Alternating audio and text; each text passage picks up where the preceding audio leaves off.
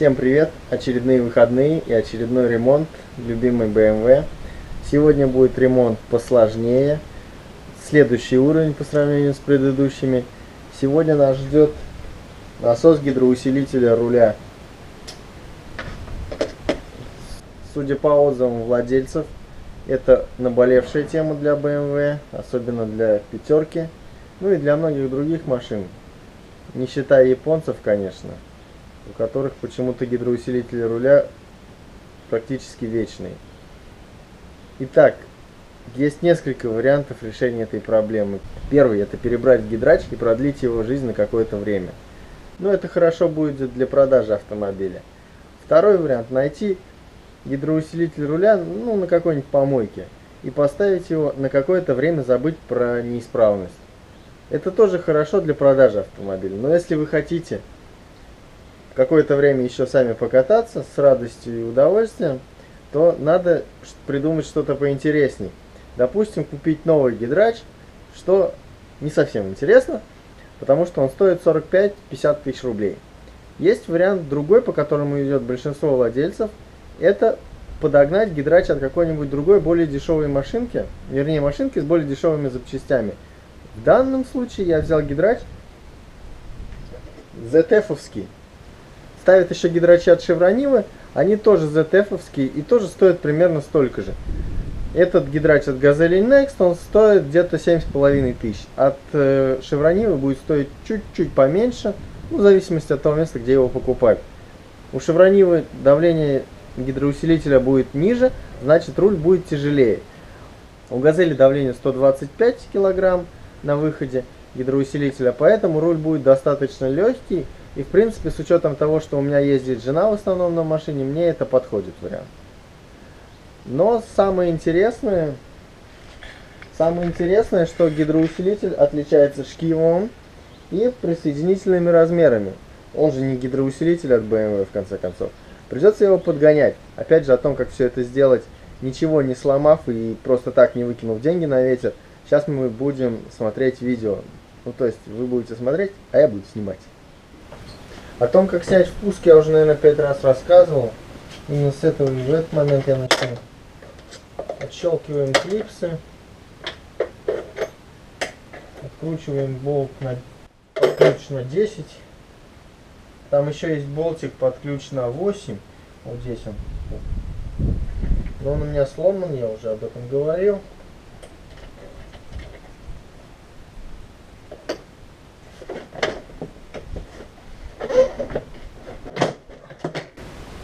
Снимается очень легко. Дальше надо снять приводной ремень ГУРа. Для этого надо ослабить ролик натяжения. И воспользуюсь для этого я ключом на 16.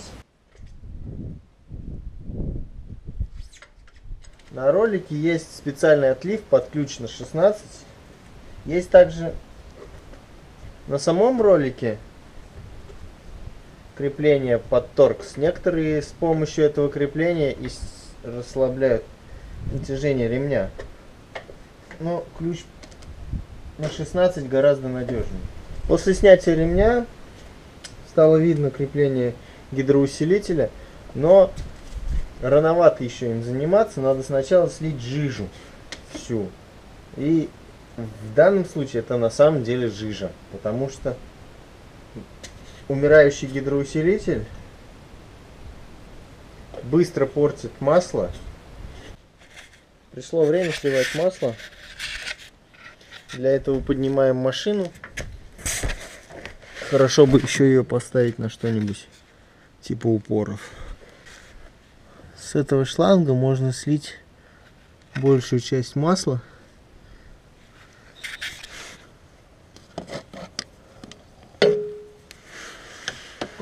Вот хомут.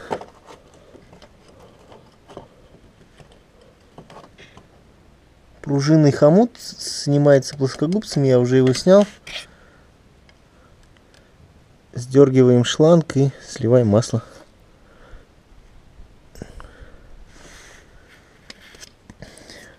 Можно легко увидеть, что по частоте двигатель BMW не намного лучше двигателей ВАЗ. Через всасывающий патрубок, который без давления я слил масло, можно приступать к дальнейшему демонтажу. Для этого надо открутить вот эти два болта, которые здесь видно, что уже я открутил и начал вытаскивать. Первый, второй, или второй, первый. И тут меня осенило. Мне кажется, мне кажется, я понял, почему ломаются русские и немецкие машины. Вот. Вот оно. Вот оно. Ключ на 13. Еще Андрей Миронов пел. Им бы 13 числа взять и отменить вместе с понедельниками. Нет, вроде не бездельники. И могли бы жить. Так, ладно, продолжаем. Болты вытаскиваем, и гур снимется. Но для того, чтобы потом не мучиться, лучше еще открутить напорный патрубок. Для этого надо его почистить и ключом открутить. После непродолжительных баталий был снят насос ГУР автомобиля. Обнаружилось еще одно крепление, которое держит шланг, вспомогательное крепление, плюс вот эта контрящая гайка под ключ на 27 и затягивающая под ключ на 17, одну контрим, другой расслабляем. Либо так, либо на машине на месте. Мне так удобнее, потому что никаких креплений у шланга у меня уже давно нету. Кто-то постарался за меня. К тому же обнаружилось, что насос не оригинальный. Уже насос стек, видимо, вот по этому месту. Так что, если у вас оригинальная машина в оригинальном состоянии, у вас будет немножко по-другому, но примерно все то же самое. Все-таки это один и тот же двигатель М54. Два насоса, один ZF от Газели Бизнес, вроде как немецкий. Даже маркировка ZF есть и надпись, что он как бы давит 125 бар. Берлин, Германия, все дела. И второй насос непонятного производства. Говорят, что от Мерседеса какого-то. Как он оказался на BMW, это сложно понять. Но, видимо, причина всех бед в нем. И вот почему я не люблю контрактные запчасти. Потому что если кто-то что-то выкинул уже на помойку, значит, видимо, этой вещи там и место. И работать она уже не будет нормально. Сейчас я аккуратно вскрою его, посмотрю, что там внутри, действительно ли он безнадежно умер. Еще я его буду вскрывать по одной простой причине, потому что мне и так его придется вскрыть, мне нужен шкив.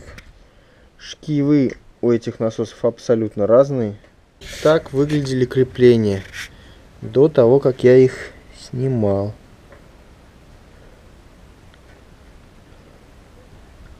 Чисто визуально старый шкив имеет люфт большой. Там стоит подшипник внутри, и он люфтит. Новый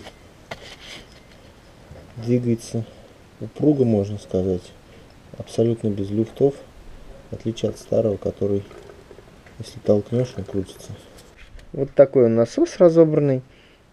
Если крутнуть корпус, ну, вместо того, чтобы крутить шкив, можно увидеть, как он работает. Уплотнения скользят по статору.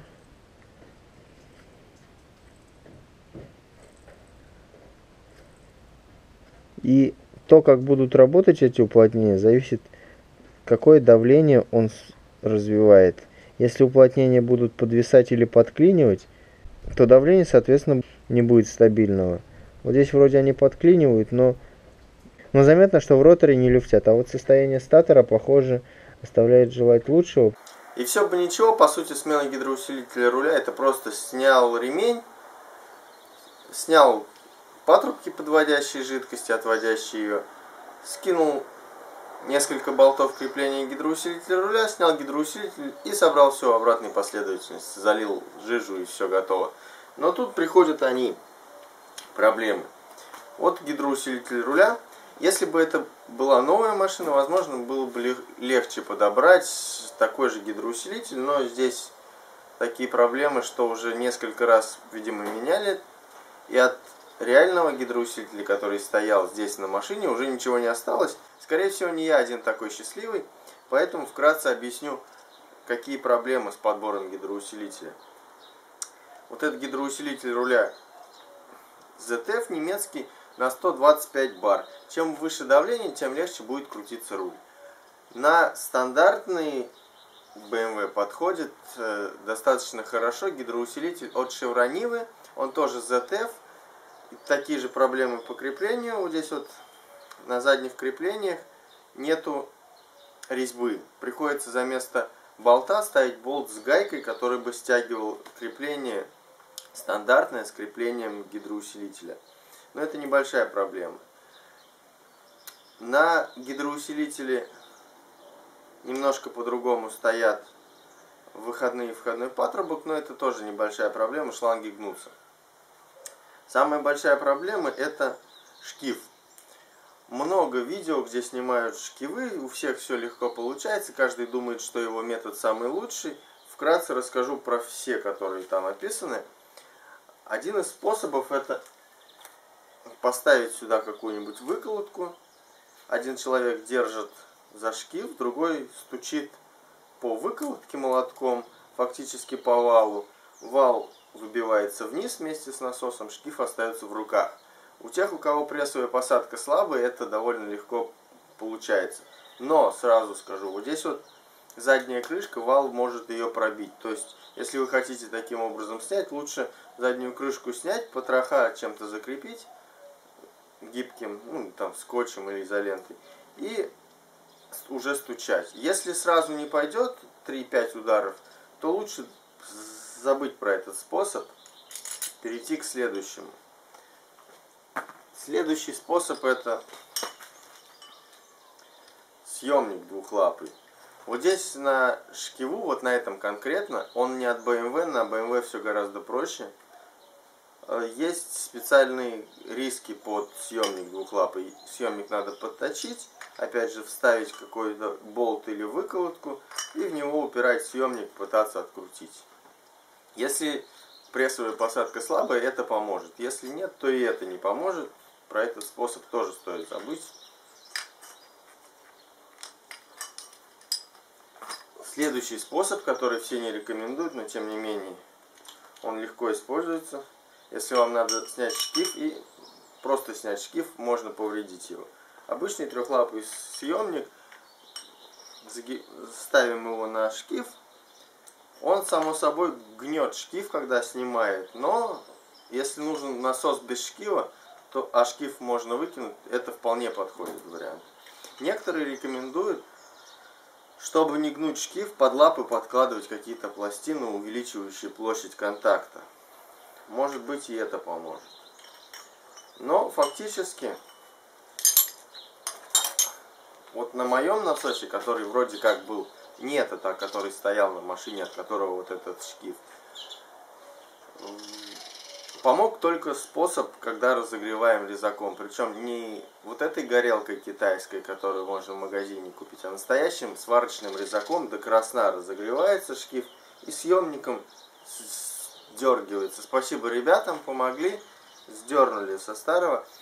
На новый, когда сажать, чтобы не мучить, опять же, вал, вот эту всю резьбу, тоже можно разогреть шкив и посадить его на горячую.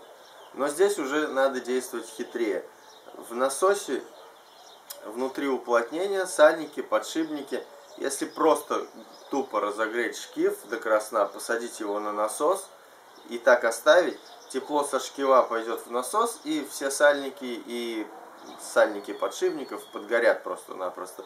Для этого ребята брали какой-то тазик, ставили в него насос, Заливали в тазик воды до уровня шкива, чтобы насос находился в воде. И уже на этот насос одели шкив по заранее отмеченным меткам, потому что когда он начнет остывать, и, а соответственно вал нагреваться, все это зафиксируется. Вот, в общем-то, самый действенный способ, который помогает, когда другие способы бесполезны абсолютно. А теперь про обычный насос, который как бы проблем не подразумевает?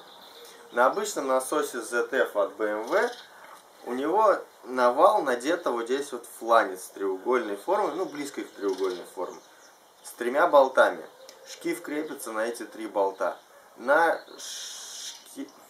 на насосе от шевронивы, который также можно поставить на BMW, в принципе крепление однотипный. Просто откручиваем три болта, снимаем шкив от шевронивы, выкидываем его, э, снимаем со старого насоса шкив от BMW, ставим на шеврониву, все это прикручиваем и никаких проблем. В общем, если вы обладаете старым шкивом с креплением болтами, то лучше все-таки ставить насос от э, шевронивы, там будет меньше проблем. Потому что на этом насосе от Газели Газели Next, по-моему, если не ошибаюсь. Здесь изначально уже стоит шкив под одноручейковый ремень. Ну, такие старые ремни, которые раньше использовались на москвичах, шестерках, там, жигулях, э, помпу приводить в движение. Его приходится скидывать и выбрасывать. Это тоже занимает время.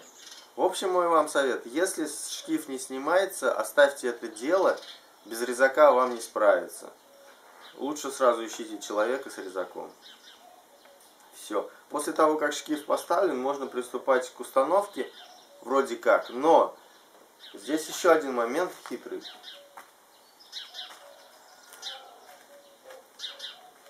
Старый насос, вот потроха насоса, когда начинает погибать, он начинает задираться. Ротор, астатор. Соответственно, идет какая-то там стружка, ну, грубо говоря, стружка, продукты жизнедеятельности насоса. И эти продукты попадают в рейку, попадают в бачок гидроусилителя, остаются в шлангах. То есть при, перед установкой нового насоса всю эту систему желательно продуть, промыть от остатков. Иначе вся эта грязь пойдет в бачок или того хуже еще в новый насос.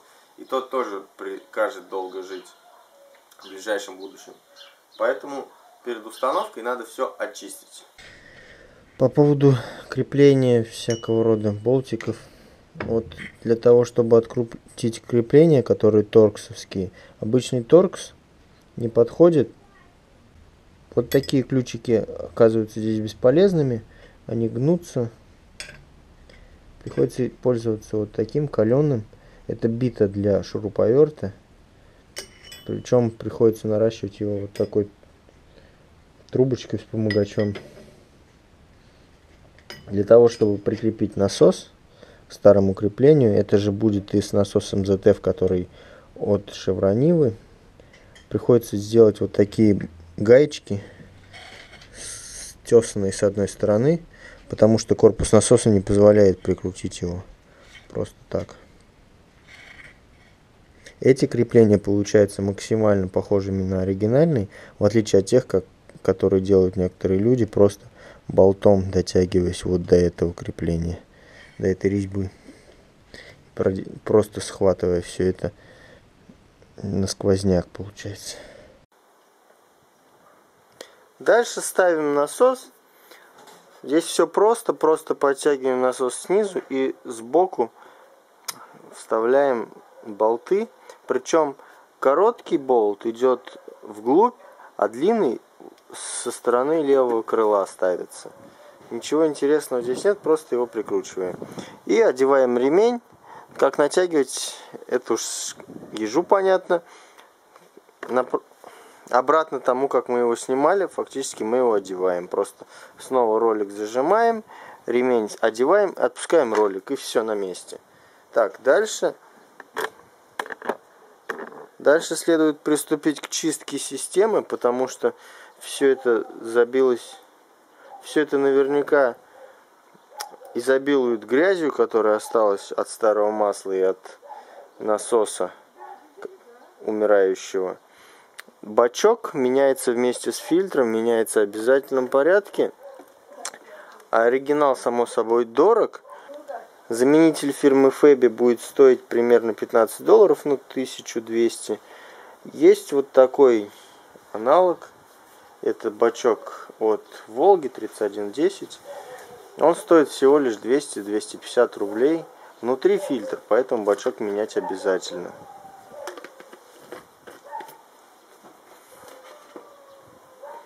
Бачок крепится болтом и два шланга крепятся снизу. Замена простая, но после того, как снимем бачок, надо будет слить остатки жидкости и продуть шланги и систему. Thank you.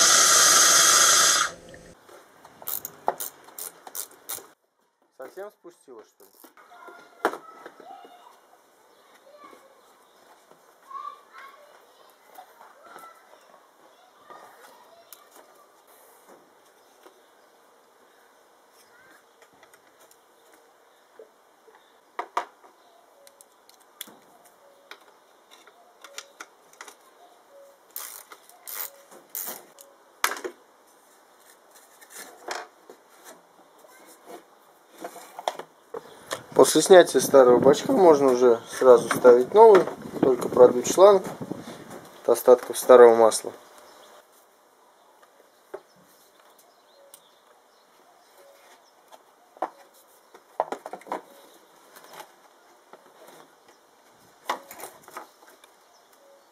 Шланг слива с бачка можно поставить сразу, а вот этот шланг пока не стоит ставить. Сейчас мы через него попробуем выдуть остатки жидкости из системы и немножко промыть чистой жидкостью систему. Непосредственно перед тем, как подсоединять напорный шланг, вынимаем, вынимаю заглушку, чтобы туда ничего не попало, никакая грязь. И надо продуть ответную часть, чтобы грязь не стала причиной протекания.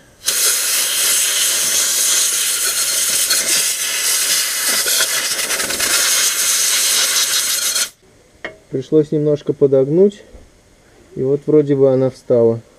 Ключом на 17 дотягиваем болт.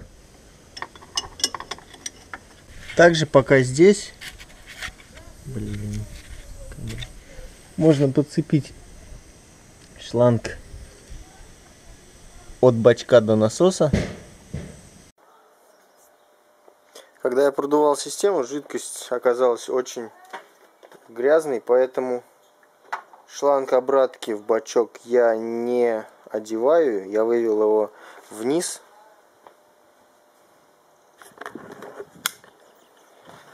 Вниз. Вот он висит над сливным корытом.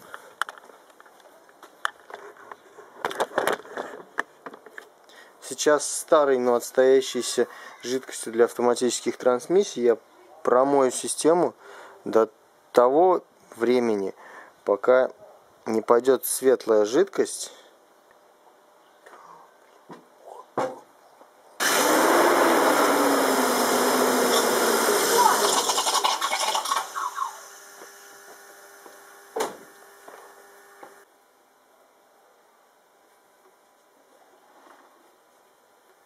Наконец-то после долгих часов можно приблизиться к завершению работы. Промывкой очень грязная работа, поэтому когда шланг листал, надо было все-таки какую-то тару типа бутылки использовать, потому что в эту я просто не попал, а то, что попало, струей выбило и стало еще хуже. Поэтому имейте в виду, когда будете делать, если соберетесь. После этого крепим окончательно все шланги к бачку и бачок сам на место и заливаем свежую жидкость. Стоит отметить, что новый насос с хорошей производительностью и высосал бачок буквально за считанные секунды. То есть промыл и выплюнул систему. Я даже не успел рулем покрутить. А лить сюда тоннами жидкость что-то не хочется. И так уже все в этой жидкости для автоматических трансмиссий. Хотите промыть получше, конечно, занимайтесь с проворачиванием руля. Но я проворачивал руль с воздухом.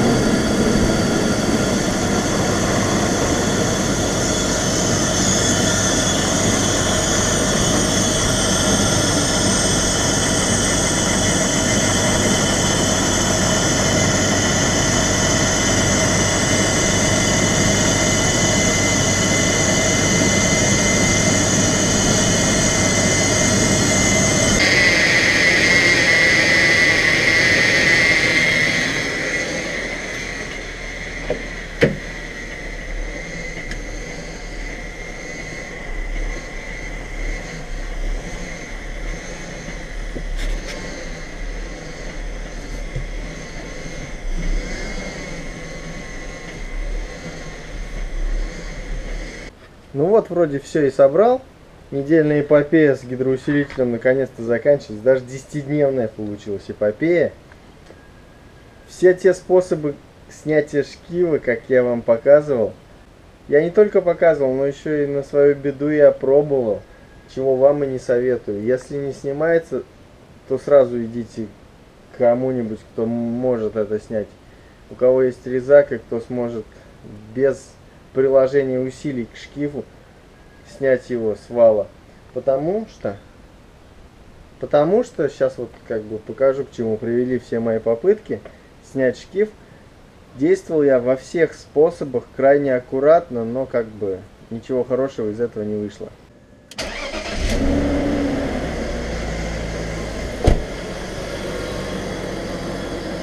Кстати, с новым гидроусилителем мотор, оказывается, работает вообще тихо. Я думал, это гудящий монстр, а оказывается, прелесть на. А вон и шкив.